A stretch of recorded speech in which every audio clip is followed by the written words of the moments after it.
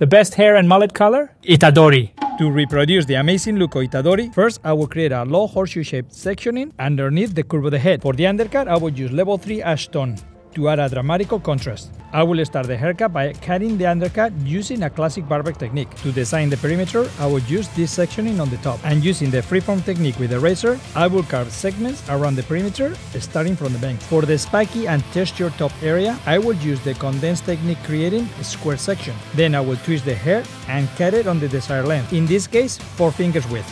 I will dry the hair so I can tailor the style on dry. This style is not uniform has many lengths and textures. Now in dry and with confidence, I will master those bangs. Create and define the pointy ends for this style. If you get this look, use some hairspray to guarantee the look stays all day long.